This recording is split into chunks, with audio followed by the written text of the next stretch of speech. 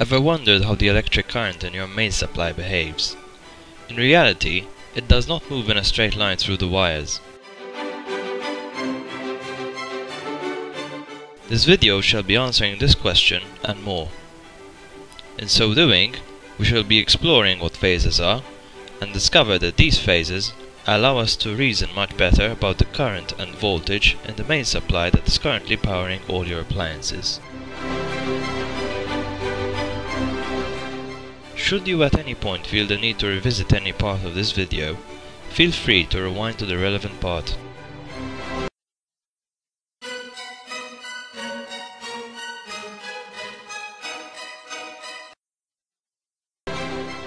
Before we start talking about phasors, we will begin by revising the basics of trigonometry.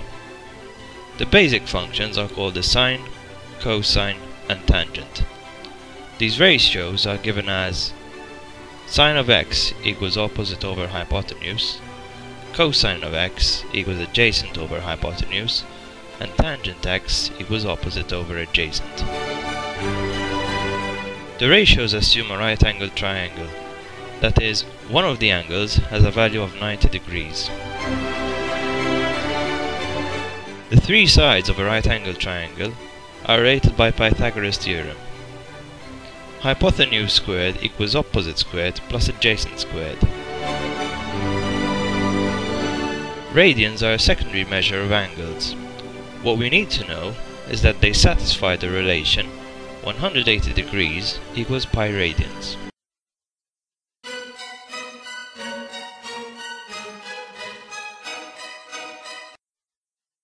A vector is a quantity having both size and direction. This is normally represented by an arrow pointing at the appropriate direction, and whose length is proportional to the magnitude of the vector. We may view a vector as being made up of a horizontal and a vertical component. Assuming we are measuring angles starting from the positive horizontal, that is from east, we can find the length of these components. Using trigonometry. Cos theta equals adjacent over hypotenuse equals x all over m. Therefore, x equals m cos theta, and hence we manage to find the horizontal component of the vector from its magnitude m and its direction theta. Similarly, sine theta equals opposite over hypotenuse equals y all over m. Therefore, y equals m sine theta, and hence we manage to find the vertical component.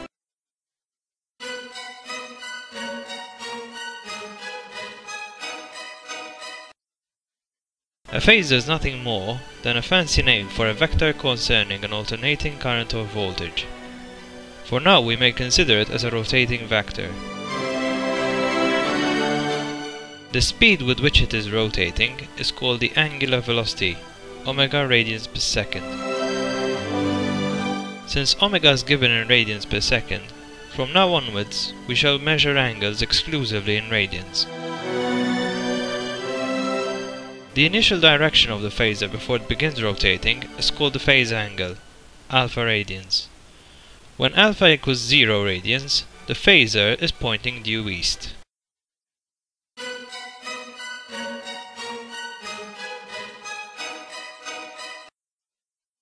Let us consider a simple phasor having magnitude 1, angular velocity 1 radians per second, and phase angle 0 radians. If the phasor is rotated through a full revolution of 2 pi radians, and its vertical component projected as shown, we will generate what is termed a sine wave.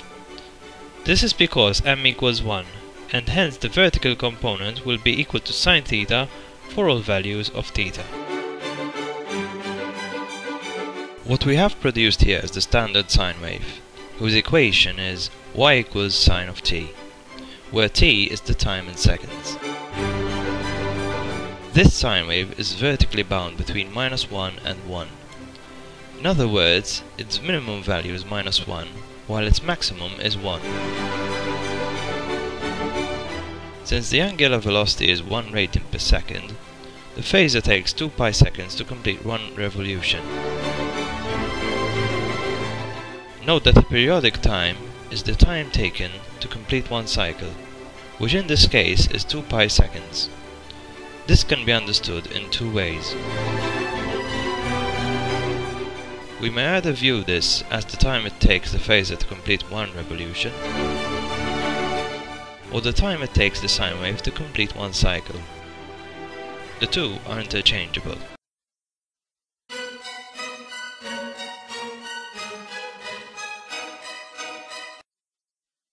Now let us look at the phasor having a different magnitude m. We can see that the phasor is represented by a longer arrow.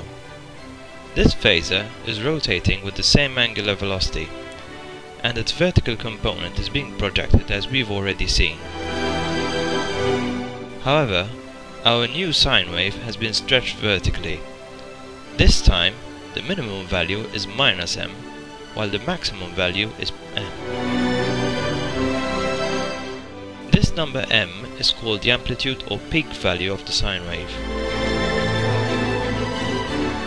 The equation of the new sine wave is y equals m sine of t. Thus, a phasor having magnitude m produces a sine wave of amplitude m.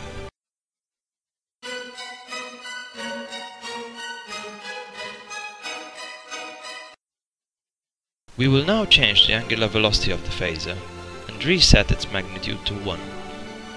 For the sake of this example, we will have an angular velocity of 2 radians per second. We can see that this new phasor rotates at twice the speed of the original on top. For the same amount of time, the new phasor has completed 2 revolutions and the sine wave has gone through 2 cycles in the same time period. Hence, the number of cycles in 2 pi seconds is equal to the angular velocity. The equation of this sine wave is y equals sine of omega t. We can see that the periodic time of the sine wave has been halved. This shows that as angular velocity increases, periodic time decreases. Another measure that is related to angular velocity and periodic time is the frequency. Frequency is defined as the number of cycles present in one second of the sine wave, or the number of revolutions in one second of the phasor. Since the angular velocity omega is the number of cycles in 2 pi seconds, while the frequency f is the number of cycles in 1 second, we may conclude that omega equals 2 pi f. The unit of frequency is commonly given in Hertz, capital H, small z. This shows that the angular velocity and the frequency are directly proportional. When one increases, the other also increases, and vice versa. The sine wave shown has a frequency of 2 Hz, since there are 2 cycles in 1 second.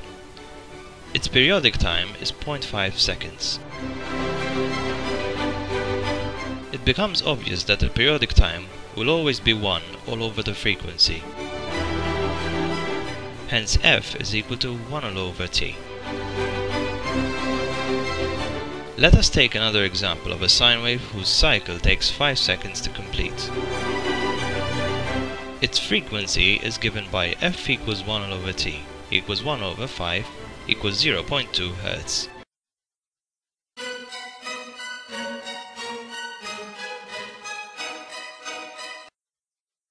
Phaser is now given a different phase angle, while the angular velocity and magnitude are both fixed to a value of 1. In our first example, the phase angle is pi over 6 radians. Vertical components are being projected as usual, the sine wave appears to be shifted to the left when compared to the original.